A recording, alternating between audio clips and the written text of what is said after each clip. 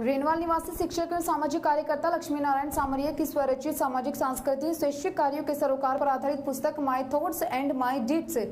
का विमोचन राजस्थान संस्कृत शिक्षा मंत्री डॉक्टर सुभाष गर्ग ने अपने जयपुर स्थित सरकारी आवास पर किया है। मंत्री ने सामरिया के कार्य की प्रशंसा की। गौरतलब है कि इससे पूर्व भी सामरिया की दो पुस्तक क्रमश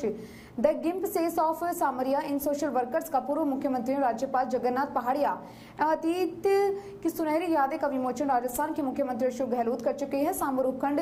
पर उत्कृष्ट सामाजिक कार्यो के लिए सामरिया को स्वतंत्रता दिवस पर सम्मानित किया जा चुका है। इस अवसर पर राजेंद्र प्रसाद चेतीवाल, सरनजीत कौर, युवा नेता देवकिशन दाइमा, बहादुर सिंह शेखावत आदि लोग उपस्थित रहे। पुस्तक के विमोचन से युवाओं को नई प्रेरणा मिलेगी और आने वाले भविष्य में इसके सकारात्मक परिणाम हमें दिख मेरे द्वारा संरचित पुस्तक my thoughts and my deeds का विमोचन,